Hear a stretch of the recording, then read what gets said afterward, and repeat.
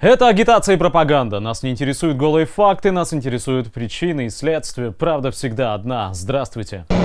В России впервые за более чем 120 лет состоялась свадьба представителя Дома Романовых. В Исаакиевском соборе Санкт-Петербурга Георгий Романов обвенчался со своей невестой гражданкой Италии Ребеккой Битарини. Я очень счастлива, и тоже Георгий Михайлович, мы все, наши родители тоже счастливы. А потом, конечно, есть чуть-чуть э, агитация, э, как э, нервиоз. Веселым перком, да за свадебку. Трудно представить себе события до такой степени, дискредитировавшие бы существующий порядок вещей, заставившие бы многих ранее равнодушных людей воскликнуть. Что здесь происходит? Где я? Только! Только! Спокойствие, только спокойствие. Вы в России, матушки, только не в 21 году 21 века, а где-то посередине, между эпохами. Зависла программа, вытолкнув на сцену и перемешав на ней персонажей 12 стульев, короны Российской империи, Ивана Васильевича и свадьбы в Малиновке. Это же вот сам факт того, что такое большое количество представителей царствующих семей Европы сегодня присутствовали на этом мероприятии, как раз таки и является факт подтверждения того, кто есть кто в российском императорском доме. Остальные люди, кто с этим могут не согласиться, делайте выводы сами. Господа, заблуждение! Это все бумаги! Это, это все фальшивые! Настоящий наследник престола – это я! Беда лишь в том, что это, к сожалению, не кино. Все по-настоящему. И у нас с вами нет способа проснуться, как Шурик, дернуть за рычаг фантастической машины, чтобы вернуть реальность, где люди не делятся на холопов и господ. Делятся? Теперь делятся еще как. И господа на этой неделе, никого не стесняясь, венчали себя на царство – для чего был арендован и закрыт для посещения туристами Исаакиевский собор, а потом с подачи Минкульта Дом ученых и Константиновский дворец. Для этой цели Министерство иностранных дел, сбившись с ног, раздавало королевским отпрыскам со всей Европы разрешение на въезд. Надо полагать, все заграничные монархи вакцинированы спутником, либо сдали ПЦР-тесты. Но самое интересное, это, конечно, присутствие на торжествах роты почетного караула Западного военного округа.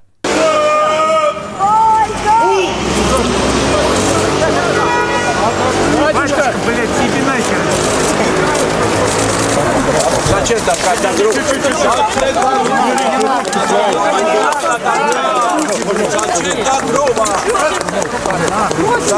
Почетный караул вроде бы не гороховые шуты по найму. Санкцию на их сдачу в аренду брачующимся помазанникам должно было давать военное начальство. Ну, то самое начальство, которое проводит учение «Запад-2021», а в случае столкновения со странами НАТО, откуда, кстати, и прибыли высокопоставленные гости, должно начать всеобщую мобилизацию среди вас. На днях во время голосования, когда в руках у министра обороны появился вот такой незатейливый паспорт, охранительская наша улица кричала, дескать, это шутка, чё придираетесь? А вот почетный караул у Исаакия – это тоже шутка. Хорошо, что над этим смеются ведущие принадлежащего Министерству обороны телеканала «Звезда». Георгий Михайлович поясняют нам, родился в Мадриде и почти всю жизнь провел в Европе, но с 2017 года обосновался в России. Вот корни, видимо, заговорили какие-то все-таки. Ради брака его супруга, она живет в нашей стране с 2019 года, приняла православие. А подобные торжества в России не проходили 120 лет, пишут журналисты. Из-за одного там режима с серпами и молотами, может быть, вы слышали. Ну, как-то ну, интересно, да? А, видимо, э, во всем винят значит, коммунистов и Советский Союз. Ну вот что-то же заставило этот самый телеканал «Звезда», принадлежащий еще раз Министерству обороны, направить к Исаакиевскому собору не только почетный караул, но и корреспондента. Эй!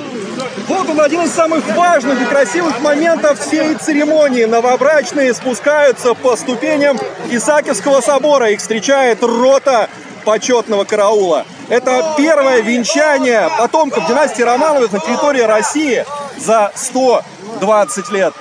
Тут чудесно и примечательно все. Говорящие головы из Кремля и телевизора попытались события не заметить. Дескать, проходная история, рутина. Не стоит беспокоиться, не царское дело, хотя формально вроде бы и царское. У Кремля нет мнения никакого по этому поводу. Мы не считаем это своим вопросом, сказал Песков в ответ на вопрос, каково мнение Кремля насчет предстоящего венчания. В Москве и в Санкт-Петербурге и в других городах России ежедневно проходит много свадеб. Мы всегда желаем счастья молодоженам, добавил Песков.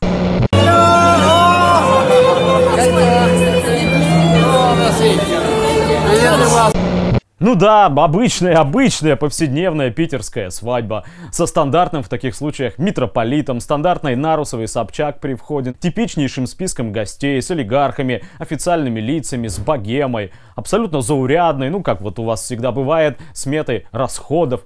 У Кремля нет мнения. Тут как-то само собой вспоминается интервью супруги господина Пескова гламурному журналу «Татлер». В нем она ласково называет мужа белогвардейцем.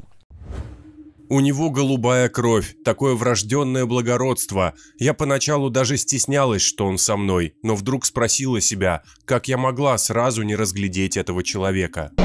Вот это ностальгия по утраченной элитарности, по отделению голубокровных себя от косорылого быдла. Эта ностальгия сквозит, конечно, во всем, что делает власть. Вот гость мероприятия, официальный представитель МИДа, давно грозящий нашему YouTube-каналу божьими карами, оскорбилась из-за рассуждений петрозаводского коммуниста Степанова. Степанов написал, что глядя на весь этот омерзительный цирк, многие в нашей стране могут начать понимать логику Юровского и уральских рабочих, потребовавших расправы над Романовыми в 18 году. Памятник всемирного значения, он же не для церковных таинств должен использоваться, да? Напомните, зачем и когда строили памятник всемирного значения в виде Исаакиевского собора? Вот склад бы там еще сделать или спортклуб по логике Шарикова и перепостившего его Швондера. А венчание, видимо, надо отменять, хотя они регулярно там идут, записывайся в очередь и венчайся. И люди венчаются разные. Но раз Константину Семину и Александру Степанову все это не нравится, так и остальным нечего. Вот она, настоящая свобода для рабов. Шариковые, швондеры – это мы, а они преображенские и барментали. Правильно, никакой свободы рабам. Есть кому позаботиться об этом. Еще не все потеряно, коршуны мои. За вашего атамана Грицана Таврического! За нашу победу! Смотрите, еще совпадение. Аккурат к проходному заурядному венчанию целый следственный комитет Бастрыкина выпускает секретные материалы. Накануне громкого события этого года, венчания великого князя Романова и дочери дипломата Ребекки Беттарини в Петербурге, Следственный комитет России на своем сайте опубликовал первый том книги о расстреле царской семьи и их приближенных. СКР в анонсе сообщил, что в издании собраны уникальные материалы следствия и исторические документы. События вековой давности впервые представлены в трехтомном издании, основанном строго на документальных свидетельствах и достоверных архивных источниках. В хронологической последовательности в книге эпизод за эпизодом изложены трагические события, связанные с убийством царской семьи и сокрытием их останков, говорится в сообщении. И все бы ничего, ну просто решили к концу сентября вот опубликовать. Но знаете, как называется книга? «Преступление века». То есть страшнейшее в 20 веке преступление, совершенное на нашей земле, по мнению составителей сборника, в погонах, это расстрел Романовых. А не, например, Ленский расстрел, не Кровавое воскресенье, не Хатынь и не блокада Ленинграда. Свадьба перестает быть томной, вам не кажется? А если посмотреть на перечень государственных чиновников, в том числе военных, которых за последние 10 лет вот эта тетенька посвятила в дворяне, кавалеры и кавалерши, кстати, им по закону запрещено принимать подобные награды и уж тем более цеплять на грудь выше государственных, то, честное слово, становится уже не до шуток. Как-то многовато стало вокруг белогвардейского, вы не находите? Ей-богу, дело не в цвете флага. Дело в том, что под этим флагом творится. Уж слишком много совпадений, собьешься, перечисляя. От государственной пропаганды Солженицынщины, двуглавых орлов Мединского до царских ходов и Преображенского полка в Кремле. Ну согласитесь, согласитесь же, рота почетного караула НКВД СССР, созданная в 44-м, вряд ли могла представить, что в 2013-м ее высочайше переименуют в честь подразделения генерала Кутепова и иммигрантской террористической организации РОВС, которую чекисты разгромили в ходе операции «Трест».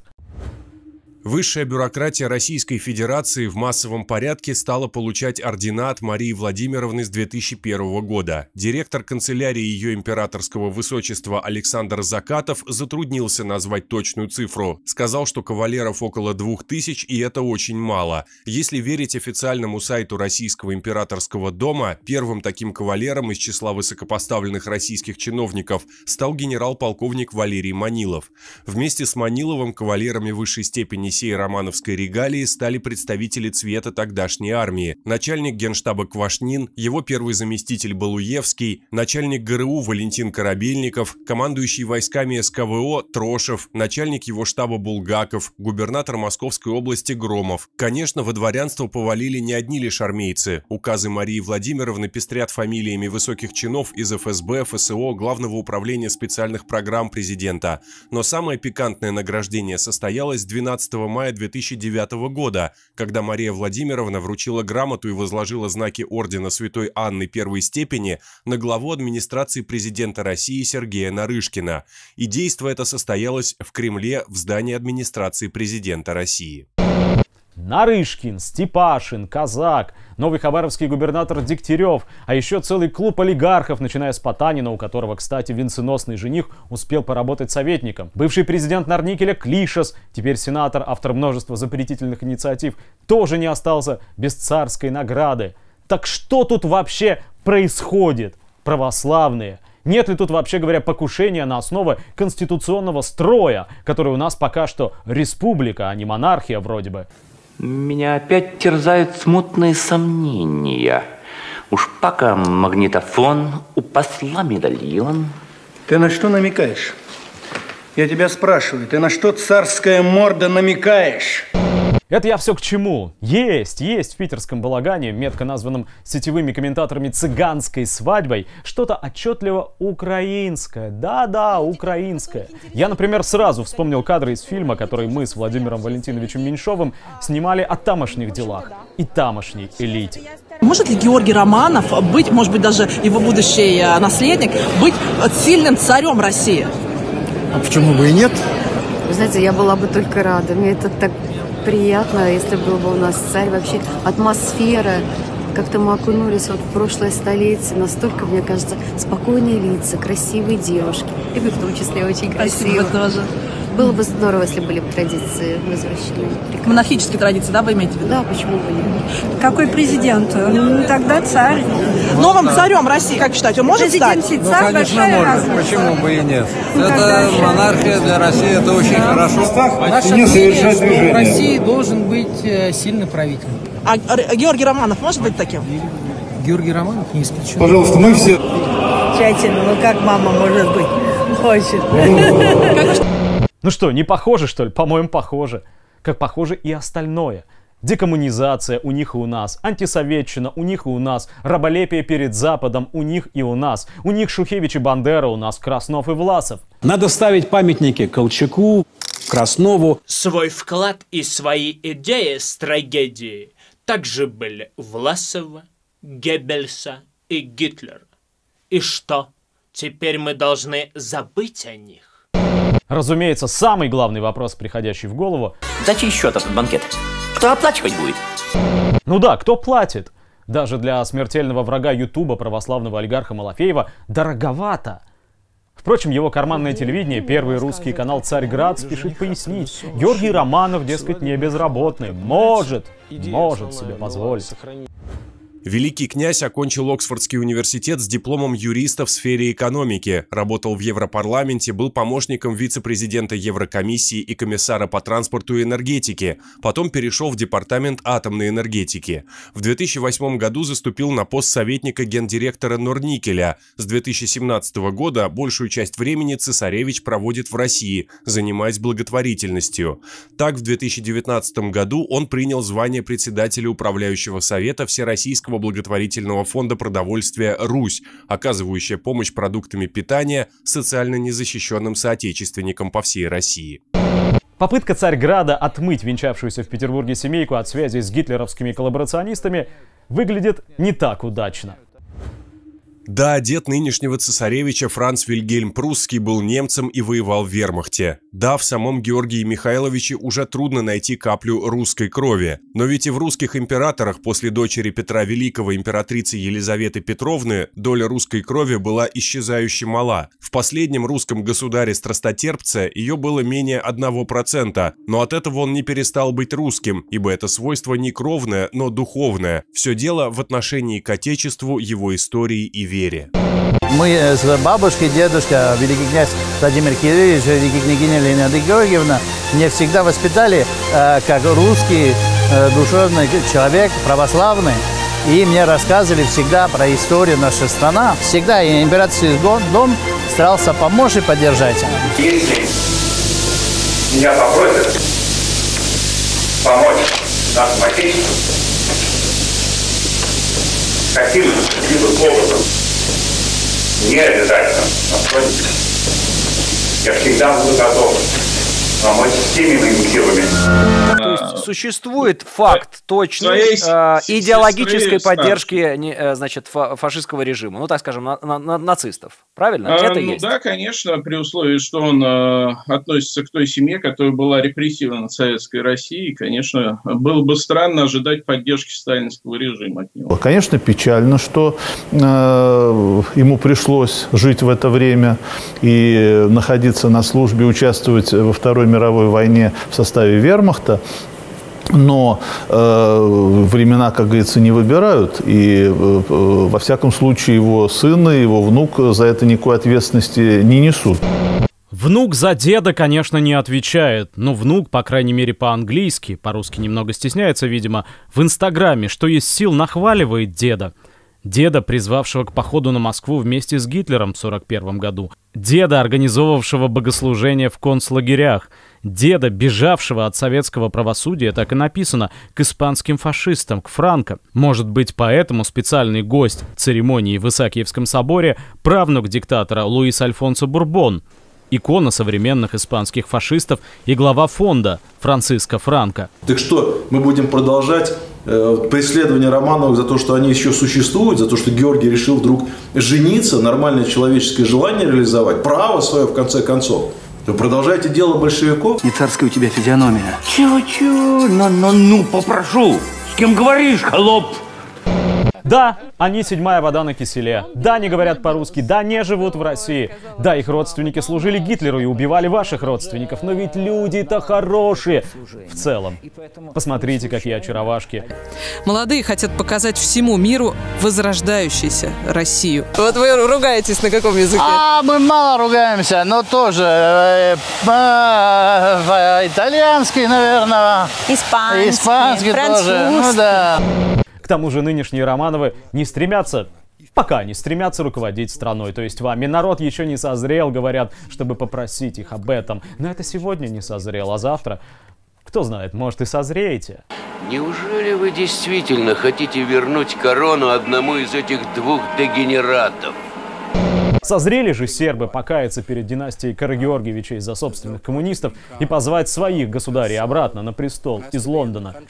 Правда, ценой, заплаченной за декоммунизацию и историческое примирение, там стали пять жутких кровавейших войн, приватизация, разруха и в результате фактическая оккупация войсками ненавистного НАТО. Мы вроде всеми силами старались избежать такого сценария и даже избежали. Или наоборот. Вот это образец как раз такого большевистской, э, образец большевистской пропаганды, которым разъединяли народ. Вот если такие люди придут к власти, как Костя, это будет что-то страшное. Вот они будут резать, и они будут э, расстреливать, понимаете? Такие, Не дай как бог. Константин Семин? Да, как Константин Семин. Ну а чтобы мечтающие резать и расстреливать коммунисты не получили нового шанса, теперешние хозяева жизни принимают упредительные меры, как на этой неделе. Аресты, задержания. Месье, это вам. Кто написал записку? Господин, который сидит вот за тем столиком. Я вот, например, только что с удивлением узнал от анонимных доброжелателей, спасибо им, что охранным отделением в отношении вашего покорного слуги запущено дело об оперативной разработке. Как правило, это прелюдия к делу уголовному. А некие патриотически настроенные сотрудники государева сыска даже посоветовали мне беречь зрение и не забывать глазные капли. Береги руку, Сеня, береги. Надя расстроится. Что делать? Такова соляви, как говорят у них. Ну как тут не вспомнить что-нибудь из истории? Знаете ли, я ведь пошел в жандарм. Это по убеждению в сохранении культуры, порядка. Ни в одной стране люди так не нуждаются в сдерживании, в обуздании, как в нашей. Но не в наших интересах э, раздражать молодежь. Да и вообще, человек интеллигентный дорог нам. Как верный сын своего отечества, не могу не внять этим увещеванием. Скрывать мне, господа офицеры, от вас нечего. Все на виду. Хотя и должен сообщить их сиятельствам, что на здоровье пока не жалуюсь совсем, запрещенного не употребляю, за руль вроде держусь крепко, да и зрение меня до сих пор вроде бы пока не подводило. Что ж касается умения отвечать за раздражающие их высокоблагородие слова, то и богу перед нами есть множество достойных людей, в разное время объявлявшихся врагами самодержавия и врагами Отечества. В такой компании в случае чего оказаться не стыдно. И все же, раз дело принимает столь серьезный оборот, покуда не восстановлено в родном отечестве наказание плетьми и выжигание клейма на лбу за оскорбление величества, проведем небольшой эксперимент. Уже с предстоящего понедельника канал наш, вы увидите это, постарается загладить и искупить совершенные по холопскому недомыслию ошибки. Искренне рассчитываем на вашу поддержку и понимание. Как же вы допустили не казнить? Встань, Федор. Я тебя не виню. Это была агитация и пропаганда. Скоро увидимся. Мир вашему дому.